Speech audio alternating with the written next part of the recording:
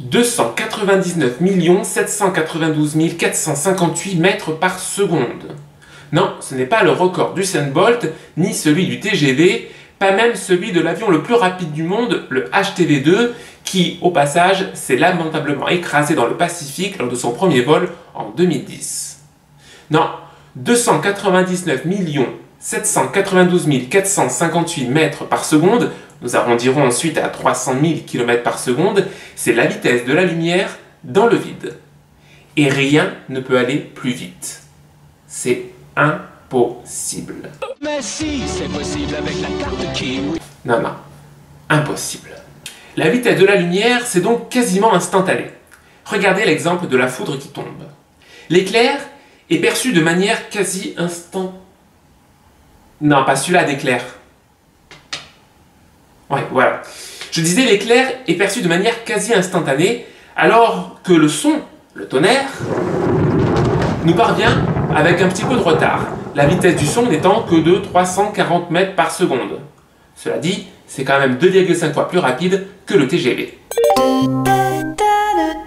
Et si la vitesse de la lumière vous paraît encore difficile à imaginer, sachez que le temps de cligner de l'œil, environ une seconde, la lumière a parcouru 7 fois et demi le tour de la Terre. Non de Zeus C'est donc extrêmement rapide. Enfin, ça dépend. Joli, la vitesse de la lumière dépend de la distance qui nous sépare de l'interrupteur Non, en fait, ça dépend à quelle échelle on se place. Pour le monde qui nous entoure, c'est quasiment instantané.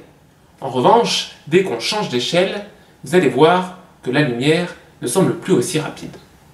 Prenons par exemple la lumière du Soleil. Le Soleil se trouve à environ 150 millions de kilomètres de la Terre. Par un rapide raisonnement de proportionnalité, si la lumière du Soleil parcourt 300 000 km en une seconde, elle va mettre environ 500 secondes pour venir jusqu'à nous, c'est-à-dire un peu plus de 8 minutes. Cela signifie que si une éruption solaire se produisait à cet instant précis, nous ne la verrions que dans 8 minutes et 20 secondes. Tonnerre de Brest Partons plus loin. L'étoile la plus proche de notre système solaire, c'est Proxima du Centaure.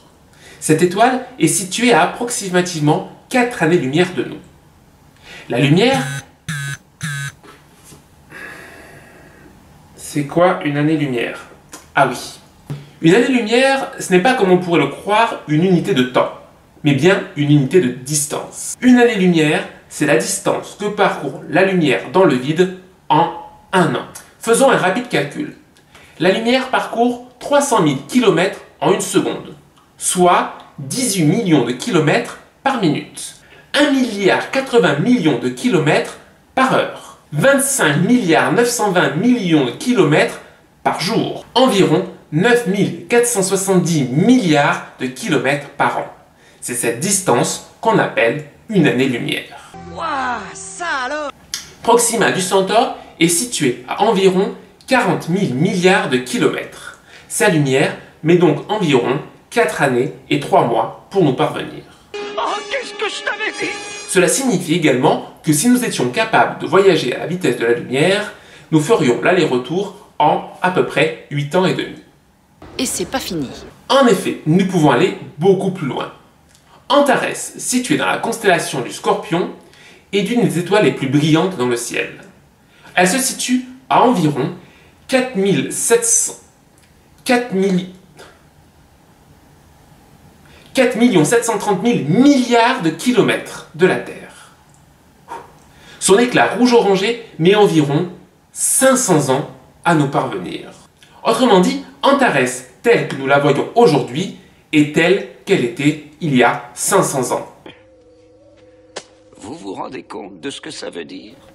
En effet, si à cet instant précis, un habitant du système Antares pointait un télescope super puissant vers la Terre, il verrait encore François Ier sur le trône de France.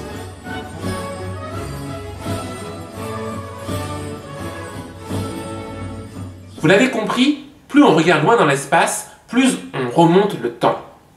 Ou pour reprendre une fameuse expression d'Hubert Reeves, regarder loin, c'est regarder tôt. En 2016, le télescope Hubble a observé GNZ11, une galaxie située à 13,1 milliards d'années-lumière de la Terre et dont la naissance se situerait approximativement à 400 millions d'années après le Big Bang.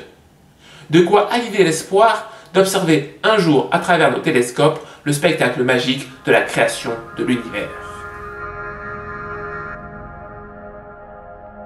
Je crois qu'après avoir vu ça, on peut mourir tranquille.